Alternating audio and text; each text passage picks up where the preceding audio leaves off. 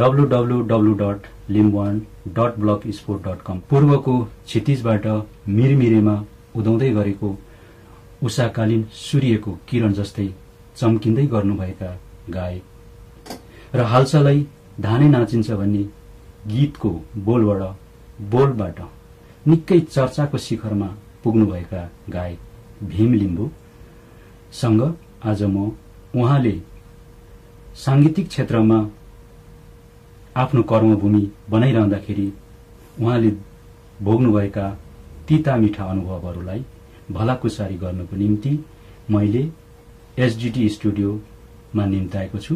त आदरणीय दर्शकदिन उहाँलाई कार्यक्रममा स्वागत गरौं।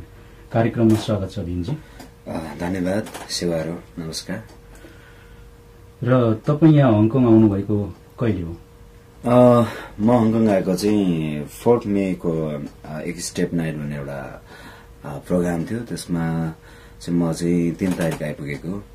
अनि फोर्थ तारिकको हाम्रो कार्यक्रम कम्प्लिट भएपछि चाहिँ फेरि हाम्रो एक हप्ताको भिसा थियो। एक हप्ताको भिसालाई चाहिँ मैले फेरि तपाईँको अर्को कार्यक्रम गर्ने हाम्रो ढाल्के ग्रुपको दाईहरूले प्रस्ताव गर्नुभयो। त्यो प्रस्तावलाई मैले स्वीकार्दै फेरि पनि यो भोलि भनौँ सोह्र तारिक भोलि हजुर सिक्सटिन भोलि सोह्र तारिकको लागि प्रोग्राम भनेर चाहिँ मैले भिसा एक्सटेन्सन गरेँ होइन अनि म चाहिँ अब सत्र तारिक चाहिँ नेपाल फर्किँदैछु भनेपछि यो दुई लगभग तपाईँको बसे हङकङमा झन्डै दुई हप्ता भएछ हजुर यसमा तपाईँको यो दुई हप्तामा तपाईँले यहाँको जुन अनुभव तपाईँको अनुभव कस्तो रह्यो दुई हप्ताको बसे बिल्कुलै एउटा कस्तो हुन्छ भने तपाईँको कलाकारहरूलाई विदेशमा कार्यक्रम गर्नु भनेको एउटा सपना जस्तै हुन्छ। त्यो सपना सायद मैले पुरा गर्ने एक स्टेप मौका पाएको छु होइन? एउटा हुन्छ नि कलाकारलाई विदेशमा प्रोग्राम गर्नको लागि चाहिँ तपाईँको फलामको चिउरा चपाउनु सोसार नै हुन्छ भनेर भनिन्छ। त्यस्तै मैले चाहिँ अब हङकङको कार्यक्रम गर्न पाउनु मेरो एउटा ठुलो भाग्यको कुरा हो। मैले चाहिँ एउटा फलामी ढोका चाहिँ पार गरेको छु। अब भनेको मेरो विदेशको साङ्गीतिक यात्रा हङकङबाट सुरु भएको छ। सही क्रममा मैले हङकङ बस्दाको अनुभव मैले धेरै नै राम्रो अनुभव पाएँ। जहाँ कि तपाईँको नेपालमा नेपाली गीत सङ्गीतको जति माहौल हुन्छ त्यसपछिको माहौल भनेको हङकङमा रहेछ भन्ने कुरा मैले महसुस गरेको छु। त्यतिकै मात्रामा नेपाली गीत सङ्गीतलाई माया गरिदिनु भएको छ नेपाली दाजुभाइ दिदीबहिनीहरूले होइन। अनि प्रोग्राममा पनि एकदमै ह्युजली सपोर्ट गरिराख्नु भएको छ। अब एक स्टेप नाइटमा पनि प्रोग्राम भने भने जस्तो भन्दा पनि अझ राम्रो भइदियो।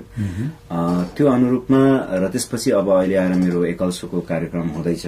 जुन मेरो प्रतिभालाई मेरो गीत सङ्गीतलाई अथवा मेरो जुन आवाजलाई मन पराइदिनु भएर हाम्रो ढल्की ग्रुपको दाईहरूले मेरो एकल सोको कार्यक्रम राखिदिनु भएको छ। यो कार्यक्रम गर्दै जाँदाखेरि मलाई एकदमै नेपालमै भए जस्तो अनुभव भइरहेको छ अनि नेपाली गीत सङ्गीतको माहौल ज्यादै राम्रो त्यसपछि कलाकारलाई गरिने व्यवहार जुन किसिमको एउटा रेस्पेक्ट हुन्छ नि मैले चाहिँ नेपालको भन्दा पनि यहाँ धेरै पाएँ। त्यसैले गर्दाखेरि नेपाली दाजुभाइहरूलाई एकदमै धन्यवाद दिन चाहन्छु र यसरी नै नेपाली गीत सङ्गीतलाई माया गरिदिनुहोस् भन्न पनि चाहन्छु। जोस् यो दुई हप्ताको बसाइमा मेरो अनुभव राम्रो भयो। अब मुख फेर्नु देश हेर्नु भन्ने जुन उखान छ त्यो पनि एक किसिमले मैले अनुभव गरिरहेको छु। अब हङकङ सहर त्यतिकै पनि तपाईँको विकसित सहर होइन धेरै राम्रो छ। यहाँको माहौल यहाँको इन्भाइरोमेन्ट पनि राम्रो लाग्यो। सिस्टमेटिकली अब यो भइरहेको अवस्थामा नेपालको भन्दा डिफ्रेन्स चाहिँ मैले टेन टेन त होइन तपाईँको हन्ड्रेड बेटर चाहिँ राम्रो चाहिँ हङकङमा पाएको छु र अहिलेको बसाइ एकदमै रमाइलो भइरहेछ। जे होस् तपाईँको बसाइ राम्रो भयो भनेपछि यहाँको हङकङको नेपालीहरूको व्यस्तताको बावजुद पनि तपाईँलाई जुन सपोर्ट गरेको छ त्यो तपाईँलाई एकदमै एउटा मिठो मनसुनी पनि भयो। र यो तपाईँले यसरी साङ्गीतिक क्षेत्र कहिलेदेखि सुरु गर्नुभएको? याद छ तपाईँलाई? मलाई एक्ज्याक्टली भन्नुपर्दाखेरि मैले साङ्गीतिक यात्रा सुरु गरेको लगभग सन्ताउन्न सालदेखि हो तर मैले चाहिँ एउटा हबीको रूपमा लिएको थिएँ। पछि पछि चाहिँ मैले चाहिँ एउटा यो प्रोफेसनकै रूपमा लिन थालेको चाहिँ लगभग चारदेखि पाँच वर्ष मात्र हुँदैछ। म्युजिकमा त म सानैदेखि नै अब इन्भल्भ थिएँ भनौँ म म्युजिक क्रेजी नै हो होइन। तर एज अ सिङ्गरै हुन्छु भन्ने त्यो पोटेन्सियल चाहिँ ममा छ जस्तो त्यो बेला लाग्दैन थियो। जब मैले चाहिँ कलेज लाइफ स्टार्ट गरेँ त्यसपछि चाहिँ तपाईँको साथीभाइहरूको इन्करेज होइन त्यसपछि फ्यामिलीको इन्करेजबाट चाहिँ अब एज अ सिङ्गरै हुन्छु भन्ने चाहिँ लागेको थियो र अहिले चाहिँ अब अब टोटली म एज अ सिङ्गर भइसकेको छुइनँ। सिक्ने क्रममा छु मेरो सुरुवात भइरहेछ भनेपछि तपाईँलाई मैले तपाईँबाट जान्न चाहेँ त्यो फ्यामिली यो के छ भन्दा कुनै पनि साङ्गीतिक क्षेत्रमा लाग्दाखेरि परिवारको सपोर्टिङ चाहिँ हाम्रो यो राई लिम्बूहरू अथवा यो अलिकमा हुँदैन। त्यसमा तपाईँको फ्यामिलीबाट चाहिँ कतिको सपोर्टिङ आएको थियो? त्यहाँ अवरोध भएन तपाईँलाई? होइन यस्तो छ। अब मेरो फ्यामिलीलाई त्यति म ममा त्यो क्षमता छ भन्ने कुरो नै थाहा थिएन पहिलो कुरा त होइन।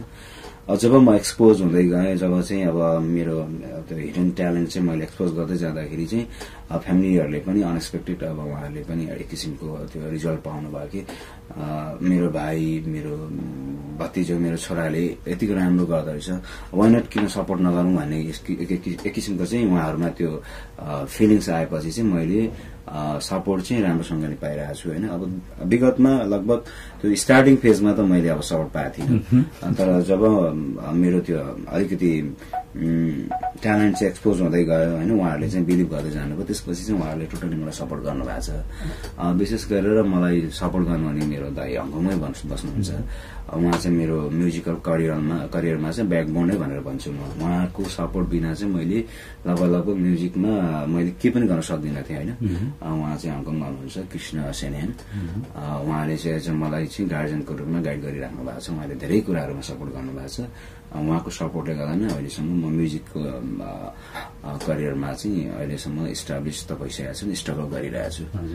भनेपछि भीम सेनिहाङ लिम्बू। हजुर। अहिले निकै नै चर्चित गीत गाएर अहिले अहिले हाम्रो श्रोत दर्शक माझमा निकै अहिले चल भनौँ तपाईँको यो आवाजको गुन्जनको प्रशंसा भइराखेको छ।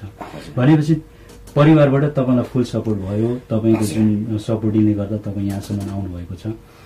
अब त्यसरी नै यहाँनिर के छ भन्दाखेरि तपाईँले जुन सङ्गीतबाट अहिले यहाँ आइपुग्दा यो सङ्गीत प्रशिक्षण लिनुभयो कि भएन तपाईँले? मैले बिल्कुलै लिएको छु। मैले खालि इन्स्टिच्युट अहिले जुन नेपालमा इन्स्टिच्युटबाट चाहिँ सिक्ने क्रमहरू छ मैले सुरुमा चाहिँ अब धरानबाटै स्टार्ट गरेको मेरो म्युजिकल करियर स्टार्ट धरानबाट भएको होइन। त्यसपछि म काठमाडौँ आएँ। काठमाडौँ आइसकेपछि पनि मैले धेरै इन्स्टिच्युटहरूमा गरेँ। त्यसपछि भनेको अहिले चाहिँ मैले एकाडेमिकली तपाईँको हाम्रो त्रिभुवन युनिभर्सिटीबाट चाहिँ एफिलेटेड अथवा त्रिभुवन युनिभर्सिटी अन्तर्गतको कलेज हाम्रो ललित कला भन्ने हजुर। बेसिकल्ली अब हुन्छ नि एउटा स्पेसलिस्ट भोकलमा चाहिँ मैले अहिले मास्टर्स डिग्रीको लगभग कम्प्लिट गरेको अवस्था छ। मैले थेसिस मात्रै लेख्न बाँकी छ होइन। त्यो चाहिँ हाम्रो नेपालमा लगभग लगभग सुरुवातको पिरियड छ अहिले तपाईँको। हामी चाहिँ फोर्थ इयरको ब्याजमा छौँ होइन?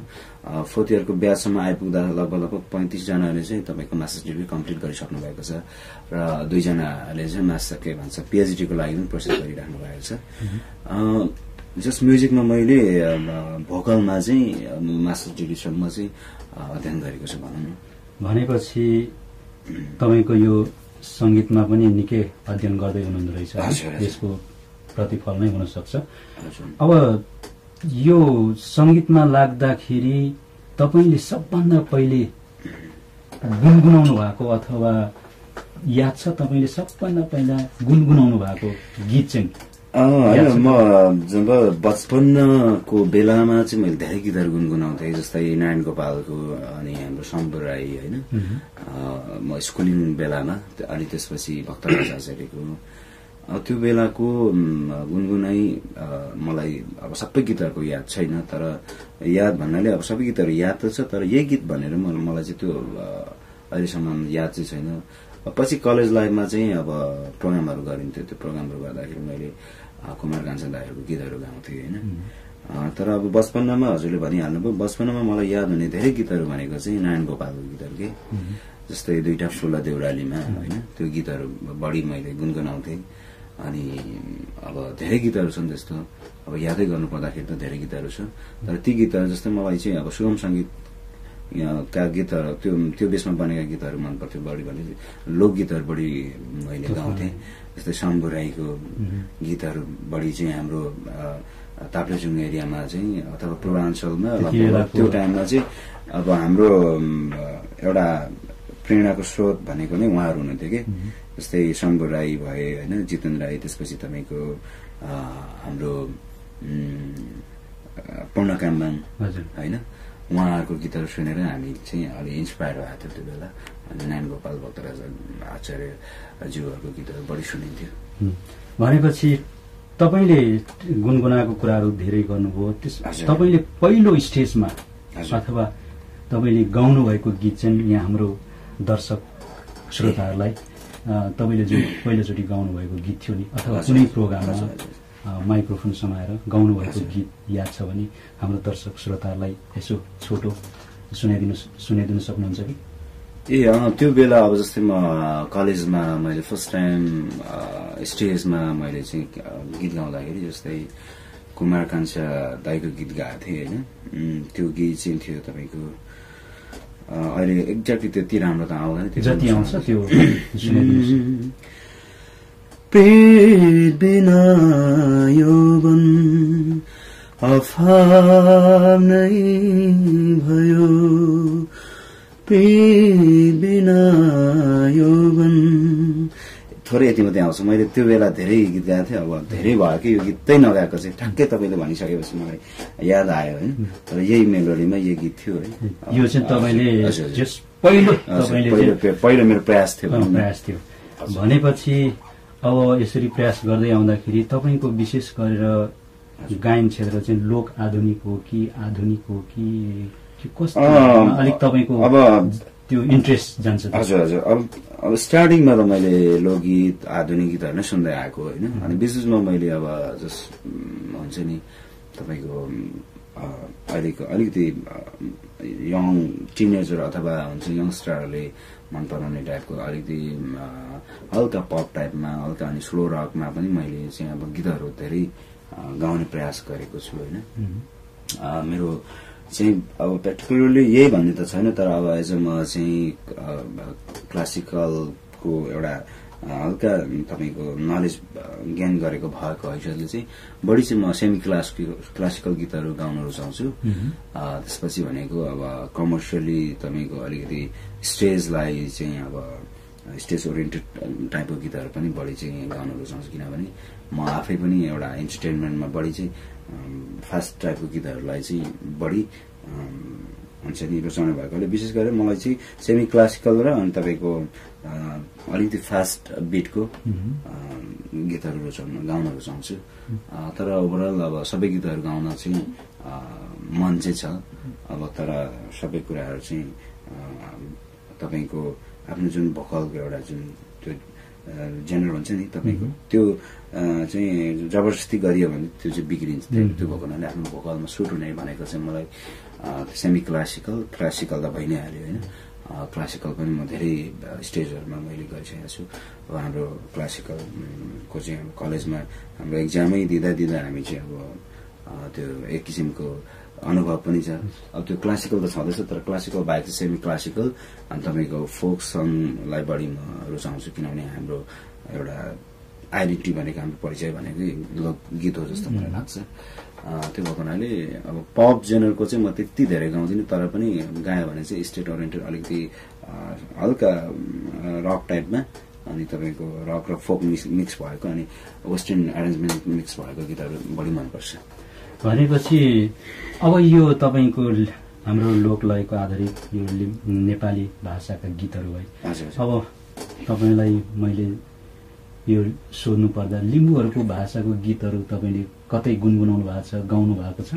होइन म अब लिम्बू भएको हैसियतले मलाई त मैले चाहिँ अब अब लिम्बू सायद जन्मदै मैले चाहिँ लिम्बू भाकाको लिम्बू चाहिँ एउटा ट्युन भएको हुन्छ नि त्यो त्यो स्टाइलको म्युजिक चाहिँ मैले सायद अब जन्मदै मैले जन्मजात बोकेर नै ल्याएको छु जस्तो लाग्छ।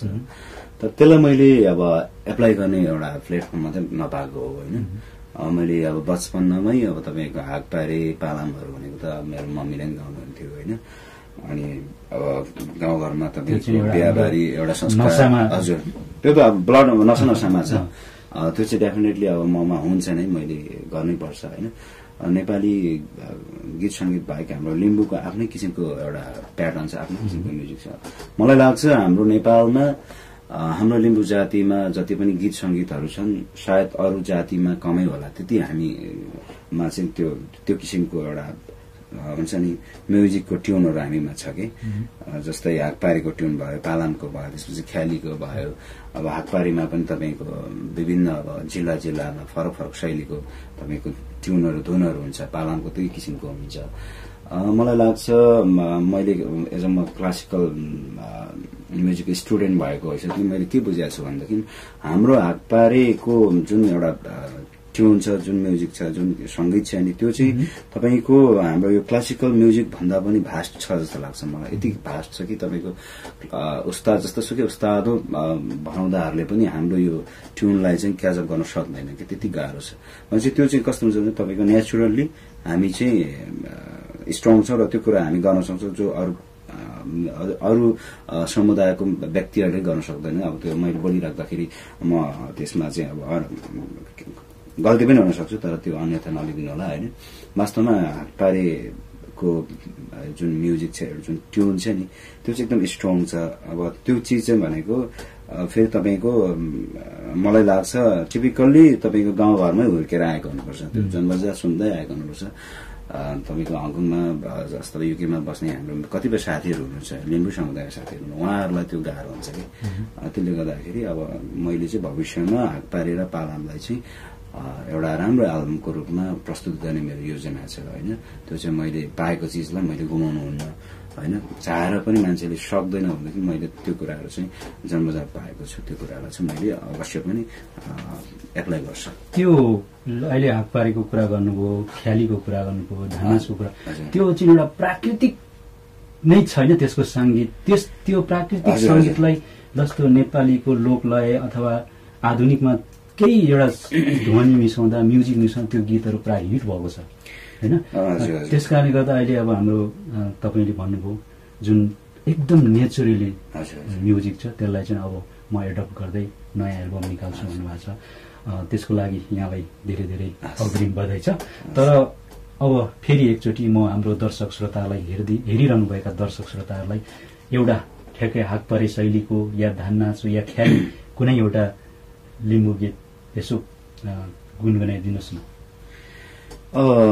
अब फेरि मैले जति कुरा गर्न चाहिँ गरेँ तर अब अहिले जस्तै ठ्याक्कै यो दिमागमा अब नयाँ चिज आएको छैन होइन तपाईँको अब शब्दमा पनि फेरि लिम्बू भाषाको हुनुपर्छ होइन त्यो पनि म एउटा सानो टुक्का हात पारी सुनाउन चाहन्छु अथवा मेरै गीत गाउँदा पनि हुन्छ। हुन्छ हुन्छ त्यो पनि अब मेरो हात पारी शैलीमै छ हजुर। हे हा।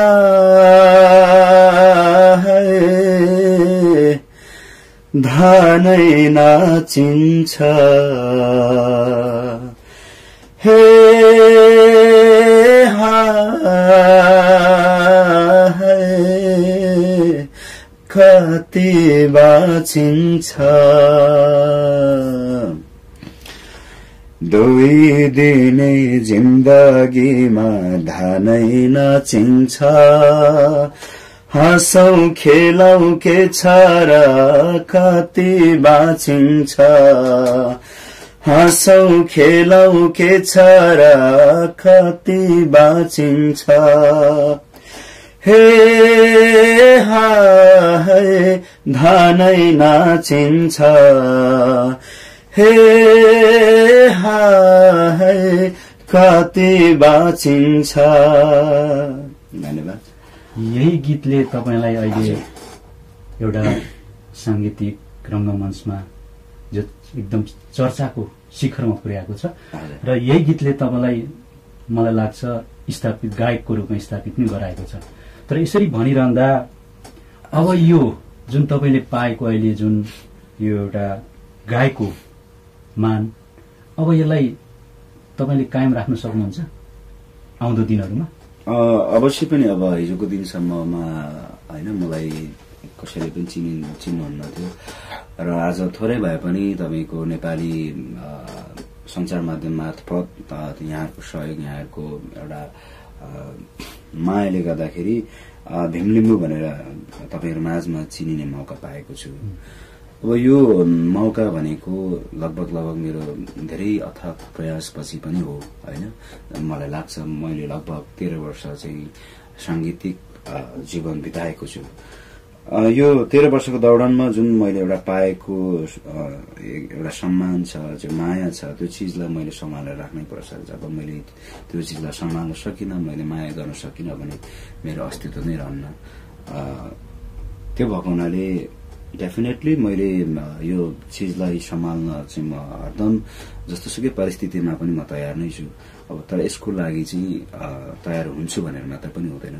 त्यसलाई आत्मसात गर्ने कसरी हो त्यसलाई कसरी चाहिँ अब आफूलाई अगाडि बढाउन अथवा आफ्नो त्यो पाएको आइडेन्टिटीलाई नगुमाउनको लागि कस्तो किसिमको मेहनत गर्नुपर्छ कसरी चाहिँ आफू चाहिँ टेकिरहनुपर्छ भन्ने त्यो एउटा कन्सेप्ट पनि अब हुनुपर्छ।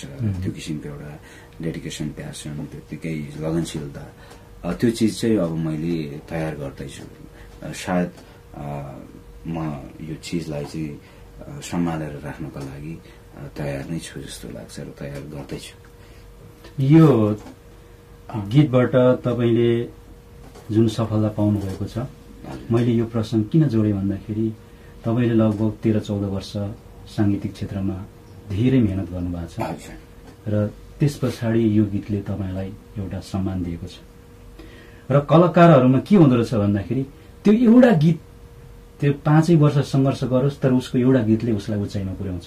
तपाईँले लगभग चौध वर्ष पर्खिनु अब त्यस पछाडि यो गायकहरूमा चाहिँ के हुन्छ एउटा गीत हिट भइसकेपछि जुन गीतले हिट भएको छ त्यो गीत चाहिँ फेरि अर्को त्यस्तै खालको गीत निकाल्दा पनि किन त्यति चल्तीमा नआएको यो यहाँको भीमजीको विश्लेषण के छ यसमा? अब यस्तो छ तपाईँको यही भन्न सकिन्न कि अब जस्तै सर्जकले होइन अब क्रिएटरले चाहिँ राम्रै गर्छु राम्रै चिज चाहिँ अब पब्लिकमा अब लिएर आउँछु भन्ने जुन सोचाइमा काम गरेको हुन्छ। तर कस्तो भने तपाईँको अब श्रोताहरूले कस्तो गीत सुनिदिनुहुन्छ कस्तो गीत मन पराइदिनुहुन्छ त्यो ठ्याक्कै भन्न सकिन्न कि? अब तपाईँको आधुनिक बेसको गीत चल्दै गर्दा कहिले फोक बेस चाहिँ श्रोता दर्शकहरूले मन पराइदिनुहुन्छ होइन? अब कहिले चाहिँ पप जेनरको गीतहरू मन पराइदिनुहुन्छ? अब अहिले आएर तपाईँको कमेडी गीतहरू पनि कतिपय गीतहरू एक्कासी हिट भइदिन्छन्। त्यसले गर्दाखेरि त्यसको लागि चाहिँ अब धेरै अब अब एभ्रिथिङ डिपेन्ड अन अब पब्लिक होइन? अब हुन्छ अडियन्समा जान्छ त्यो चाहिँ। तर कस्तो हुन्छ भने क्रिएटरले चाहिँ राम्रो चिज चाहिँ दिनुपर्छ अब। राम्रो चिज भनेको चाहे त्यो हिटै हुनुपर्छ भन्ने छैन तर तपाईँको राम्रो चिज जहिले पनि राम्रो हुन्छ। राम्रो चिज दिने प्रयास चाहिँ गरिएन भनेदेखि एउटा गीत मात्रै सीमित हुन्छ है। त्यसले गर्दाखेरि राम्रो चिज दिने प्रयास चाहिँ गर्नुपर्छ। तर मैले अहिले भनिरहँदाखेरि मैले आफैले पनि दिन सकिरहेको अवस्था छैन। तर अबको एल्बममा अपकमिङ मेरो एल्बममा चाहिँ लगभग लगभग मलाई लाग्छ मैले राम्रो चिज गरेको छु। त्यो चिजहरूले सायद सम्पूर्ण श्रोताहरूलाई चाहिँ चित्त बुझ्छ जस्तो मलाई लाग्छ। होइन? अब भलै त्यो तपाईँको सुपर टुपर हिट हुनुपर्छ भन्ने पनि छैन। तर राम्रो चिज राम्रो भइरहन्छ। अब कस्तो हुन्छ भने तपाईँको कुनै गीत सर्टेन टाइमसम्म चाहिँ राम्रो भइदिन्छ। पछिल्लो समयमा त्यसको कुनै पनि निशानी हुँदैन। तर सदावर गीतहरू पनि हुन्छ नि तपाईँको। आज मन नपर्न सक्छ तर भोलि पछि त्यसको डे बाई डे चाहिँ त्यो गीतले तपाईँको मन छुँदै जान्छ भनेपछि मलाई चाहिँ अझै लाग्छ सदावर गीतहरू चाहिँ श्रोताहरूमा चाहिँ ल्याउनु राम्रो हो होइन? सर्जकले राम्रो गीतलाई त्यसरी चाहिँ प्रस्तुत गरेमा त्यो राम्रो हुन्छ जस्तो लाग्छ। मैले यो प्रश्न यहाँलाई किन तेर्साएको भने जस्तो कुनै पनि स्थापित कलाकार एउटा गीतले चर्चामा आएको हुन्छ त्यस पछाडि त्यही गीतको उसले गर्दाखेरि निकै लामो समयसम्म उनीहरूको चर्चा त भइरहन्छ तर उनीहरूले फेरि त्यसलाई नै अलिक उच्चिने खालको गीत निकाल्न सकेको अवस्था छैन। अब कोही कोही कलाकारको अपवाद बाहेक ठिकै छ। अब यसमा हामी नजाउँ।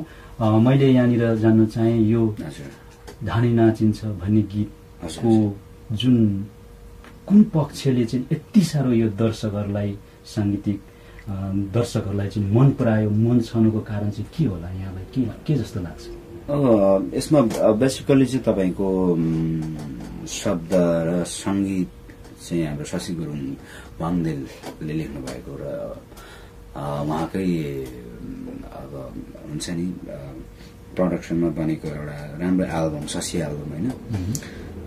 तपाईँको त्यो एल्बमको विशेषता अथवा त्यो भित्र जति पनि गीतहरू छ सबै राम्रै छन् तर धानै नाचिन्छको गीत चाहिँ किन चाहिँ श्रोताहरूले मन पराइदिनु भयो? र अहिलेसम्म चाहिँ यो गीत अहिलेसम्म पनि मन पराइएको छ भन्दाखेरि तपाईँको विशेष त अब त्यसमा शब्द र सङ्गीतमै भर पर्छ होइन? शब्द सङ्गीत एकदमै तपाईँको उत्कृष्ट छ। त्यसमा सांस्कृतिकमूलक शब्दहरू पनि छ जस्तै अब त्यहाँ तपाईँको सिमे भूमि भनिएको छ। होइन? तपाईँको धान्नाजको कुरा ल्याइएको छ। जीवन्त कहानी छ जीवन्त कहानी छ त्यसमा। अब तपाईँको एउटा कस्तो भने धार्मिक स्थललाई पनि त्यहाँ हामीले समावेश गरिरहेको छ जस्तै पाथिभारा भनिएको छ।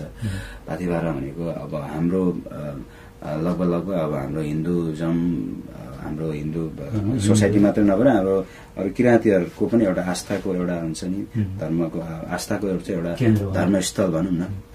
हाम्रो पाथिभारा देवी भएको हुनाले त्यसलाई पनि समेटिएको छ र भाका पनि तपाईँको टिपिकल हाम्रो पूर्वेली भाकामा छ। विशेष गरेर त्यो सङ्गीत चाहिँ सङ्गीतमा चाहिँ लिम्बूको एउटा भाका छ। त्यो जो जस्तै लिम्बू समुदायलाई मात्रै त्यो मन नपरिकन अन्य समुदायलाई पनि मन परेको छ। विशेष अझ मैले त्यो किसिमको भाका चाहिँ अब हरेक मिडियामा चाहिँ बजाउँदाखेरि सबैबाट चाहिँ वा कस्तो राम्रो भाका। होइन सबैजनाले चाहिँ एप्रिसिएसन दिनुभएको थियो। त्यो भएको हैसियतले पनि अनि त्यो गीत चाहिँ राम्रो बनेको छ। र अर्को पक्ष चाहिँ तपाईँको भिडियो। भिडियो पक्ष पनि राम्रो बनेको छ। आलोक नेमाङज्यूले गरिदिनु भएको छ। भिडियो पनि तपाईँको टिपिकल हाम्रो कल्चरलाई नै बेस बनाएर बनाइएको छ। त्यो हिसाबले पनि राम्रो मानिएको हो जस्तो लाग्छ। अब गाउँ गायकीको कुरा गर्नुहुन्छ भने गायकी त अब मैले डिजर्भ गर्न सकेको छु छैन होइन त्यो चाहिँ अब मैले भन्न सक्दिनँ। तर मैले अझै त्यसलाई चाहिँ बेसी दिन सक्थेँ। तर त्यो टाइममा भनेको हतार हतारमा काम गरिएको थियो अलिक बेसी दिन सकेको छुइनँ अब आउँदो एल्बमहरूमा चाहिँ मैले बेस्ट दिने प्रयास गरेको छु सायद अवश्य पनि त्यसमा चाहिँ न्याय गरेको छु कि जस्तो लाग्छ। तर त्यो गीतलाई पनि मैले न्याय त गरेकै हो। तर अझै मेरो विचारमा चाहिँ अझै त्यो गीतलाई मैले बेस्ट दिन सक्थेँ भन्ने अझै पनि लागिरहेको छ। धकधकी लागिरहेको छ। तर त्यही गीतले तपाईँलाई यो स्थानमा पुर्याएको छ तर त्यो मैले तपाईँको त्यो गीतको जुन तालमा नाचेको थियो जुन चेम्ब्रुङको ताल थियो त्योलाई अलिक मोडिफाई गरेको हो कि एकदमै सुन्नमा धेरै राम्रो लाग्यो मलाई। अब त्यो त्यो चाहिँ अब कस्तो छ भने तपाईँको च्याब्रुङको बिटहरू अब धेरै किसिमको हुन्छन् होइन। तपाईँको दुई सय किसिम दुई सय साठी त तपाईँको दुई सयदेखि दुई सय साठीसम्मको त्यसको रिदमको सेक्सनमा तपाईँको डिफ्रेन्स बिटहरू हुन्छ। अब त्यो बिटहरूमा टिपिकल्ली हामीले चाहिँ गर्न सकेनौँ होइन। त्यसमा अलिकति मोडिफाई गरिएको छ। अब त्यसमा तपाईँको कोरियोग्राफिकल्ली अब हाम्रो आलोक दाईले नै गर्नुभएको अब होइन?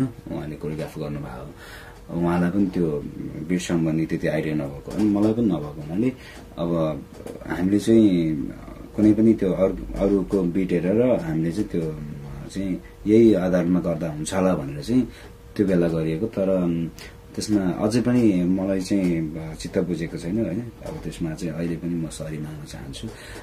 भने जस्तो त्यो रिदममा ठ्याक्कै तपाईँको बिटिङहरू त्यो जुन स्टेपहरू गर्नुपर्ने थियो। त्यति राम्रोसँग भएको छैन तर देखिँदा राम्रै देखिन्छ। त्यो यहाँहरूले अब राम्रो भनिदिनु भएको छ। तर अझै पनि त्यसमा टिपिकल्ली आउनुपर्ने चिजहरू आएको छैन। त्यसलाई अलिकति मोडिफाई गरेको भन्दा पनि फरक पर्दैन। त्यो किसिमको तालमा अलिकति त्यो फास्ट फास्ट जस्तो लाग्यो मलाई। जस तर धेरै राम्रो देखियो। हजुर हजुर। त्यो देखिनुमा पनि होइन त्यो चाहिँ तपाईँको अब कस्तो छ भने जुन अब म्युजिकको रिदम अनुसार नै त्यहाँ चाहिँ स्टेपहरू त्यहाँ किनभने तलमाथि हुनु हुँदैन होइन?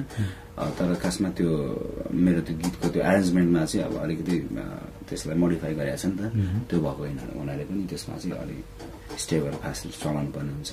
तर हाम्रो ओरिजिनलमा अब हुन्छ नि त्यो त्यो चिजहरू चाहिँ अलिकति फरक चाहिँ हुन्छ। अब जाउँ तपाईँको अब लिम्बू भाषाको गीतहरू चाहिँ हाम्रो श्रोताहरूले कहिले सुन्न पाउने? अब तपाईँको अब यो मेरो नेपाली एल्बम चाहिँ लगभग अब म हङकङबाट गइसकेपछि नेपालमा रिलिज गर्ने दौड दौडधुपमा लाग्छु होइन एक महिनापछि म एल्बम रिलिज गर्छु।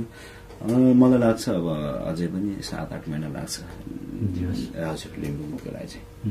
भनेपछि अब मैले यहाँ यसरी सोध्न चाहेँ अब यो सङ्गीतमा लागेका साथीहरूको जुन साधना गरेर लाग्नु भएको छ तर उहाँहरूको भविष्य कस्तो देख्नुहुन्छ? अब भीमजीले आफ्नो भविष्य सङ्गीतमा लागेको भविष्य कस्तो देख्नु भएको छ? कसरी मूल्याङ्कन गर्दै हुनुहुन्छ?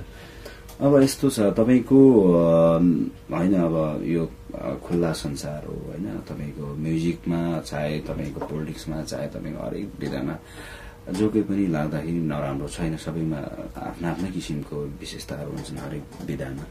त्यो त्यस्तै अब म्युजिक विधामा पनि तपाईँको हामी म त भन्छु लगभग हामी तिन करोड नेपाली जनताहरू छौँ।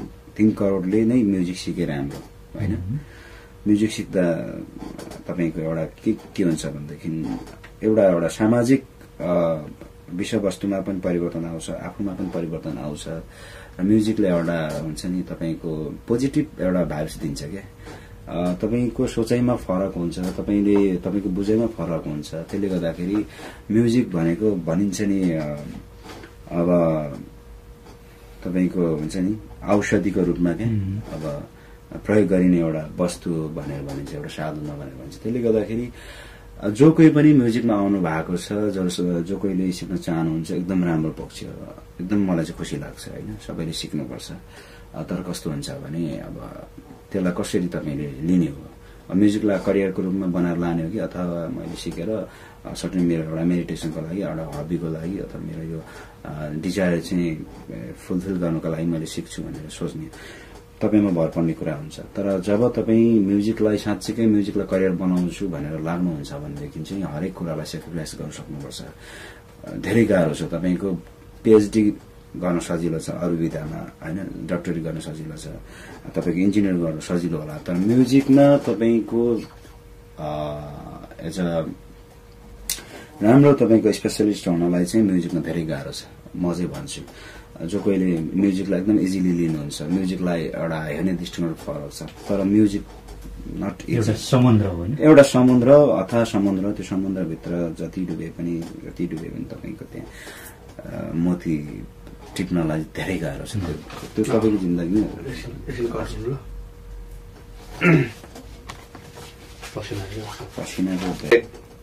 र अब हामी कार्यक्रमको जस अन्ततिर आइसकेका छौँ भन्नाले अब हामीसँग समय त्यति छैन।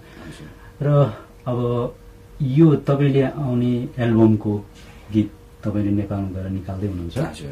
चाँडै नै। त्यो एल्बमको एउटा गीत चाहिँ हाम्रो दर्शक श्रोताहरूलाई यसो गाइदिनुहोस् न। ए हुन्छ। अब जस्तै मेरो एल्बमको नाम चाहिँ मिन्जीमा होइन मैले त्यो उद्घोष गरिसकेको छु। निर्णय भइसकेको छ एल्बमको नाम मिन्जीमा। यसमा चाहिँ तपाईँको अन्य गीतहरू पनि धेरै राम्रा राम्रा छन् तर अहिले मैले किन यहाँ सुनाउन लाग मलाई चाहिँ इच्छा जाग्यो भन्दाखेरि यो एक किसिमको हामी विदेशमा छौँ होइन नेपालीहरूको हाम्रो एउटा रहर होइन बाध्यता हुन्छ बाहिर बस्ने। त्यो सवालमा बनेको एउटा गीत चाहिँ म थोरै सुनाउन चाहन्छु। आँसुले भिजाई सिरानी कोल्टे फेरी फेरी राती। बिछन है परदेश का। यहाँ परदेसी दिन राति। आँसुले भिजाई सिरानी।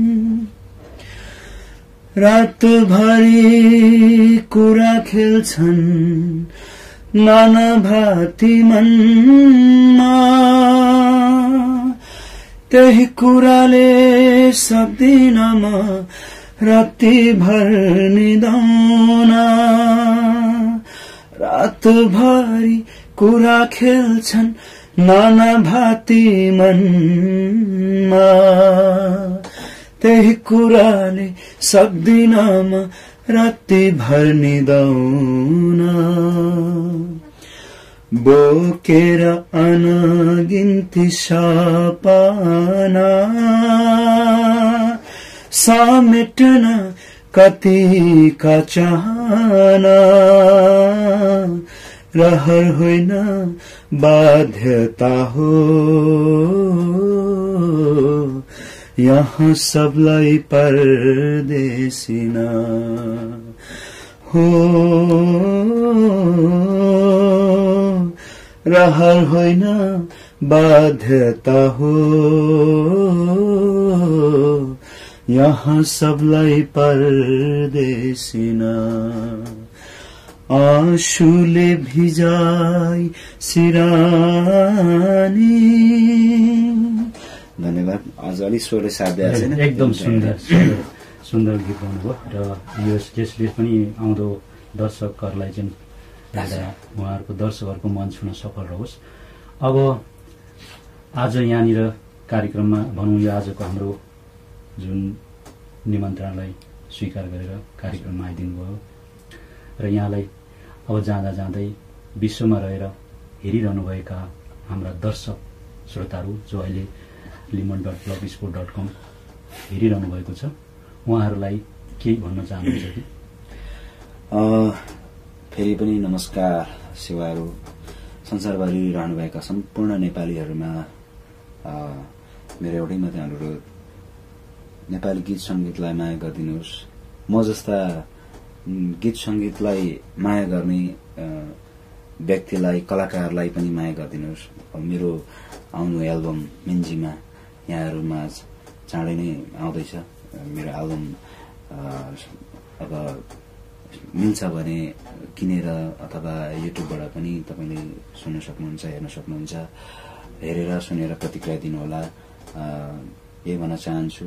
अहिले लिम्बुवान ब्लग स्पोर्ट डट कममा मैले एउटा सानो आफ्नो व्यक्तिगत कुराहरू राख्ने मौका पाएँ। त्यसको लागि सम्पूर्ण युनिटलाई र विशेष गरेर हाम्रो इन्द्र सरलाई धेरै धेरै धन्यवाद र अहिले जुन स्थानमा सुटिङ भइरहेको छ एचडिडी स्टुडियो डट कम स्टुडियोलाई पनि धेरै धन्यवाद र हाम्रो देवेन्द्रलाई पनि धेरै धेरै धन्यवाद दिन चाहन्छु र सम्पूर्ण नेपाली दाजुभाइ दिदी बहिनीहरूलाई फेरि पनि नेपाली गीत सङ्गीतलाई माया गरिदिनुहोस् र म जस्तो न्यू आर्टिस्टलाई माया गरिदिनुहोस् भनेर म अनुरोध गर्दछु। धन्यवाद। त आदरणीय दर्शकबिन हाम्रो भीम लिम्बूबाट उहाँले आफ्नो सन्देश तपाईँहरूलाई दिइसक्नु भएको छ। र आजको कार्यक्रमबाट हाम्रो प्राविधिक मित्र एचडिडी स्टुडियो संस्थापक देवमान तुमान्ते लगायत हामी सबैलाई दिनुहोस्। हवस् नमस्ते।